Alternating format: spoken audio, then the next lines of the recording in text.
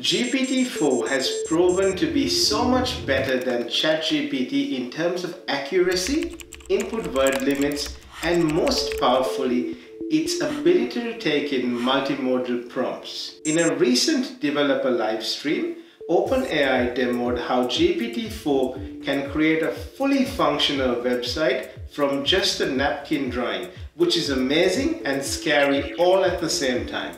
ChatGPT was only able to take limited bodies of text input. GPT-4 has an expanded text horizon and is multimodal.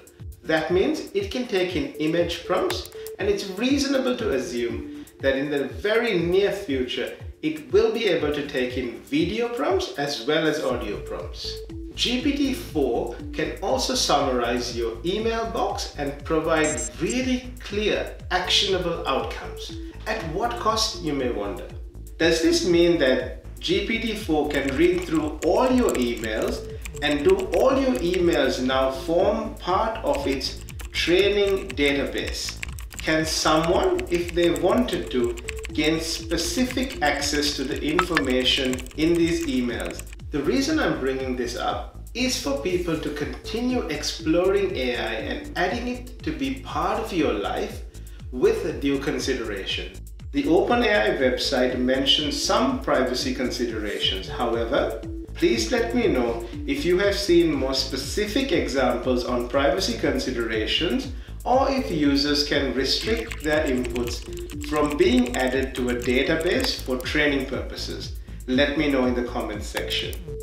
Another use case I have been made aware of is users uploading corporate documents to either access summaries, break down step-by-step -step reasoning, add to the context of the document, or access GPT-4's really powerful language translation skills.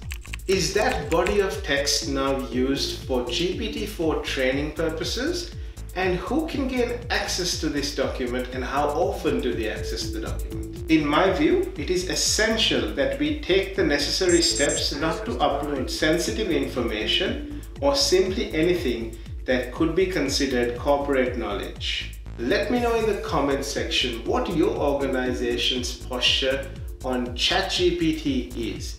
Is it restricted? Is it fully open or is it blocked? If you would like to use ChatGPT as a means of understanding and learning the English language much better for free, click here.